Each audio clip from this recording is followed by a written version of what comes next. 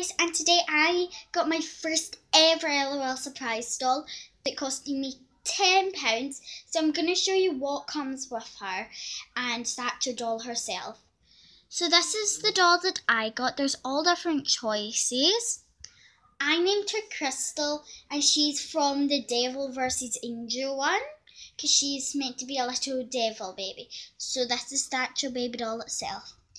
Then this is her little bottle right here. It's like pink at the top, red and black stripes. Then then some cute little boots here. Let me show you guys. Those are the boots that she came with, like little shoes. They're really, really cute. Then this is the part that makes her mostly like a devil. Her little hairband that she came with that has little devil, pointy devil ears there. And then finally, she also came with this cute little leotard outfit on her.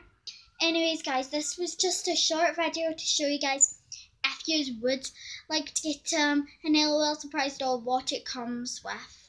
So hope you guys enjoyed this video. As usual, please click like and subscribe.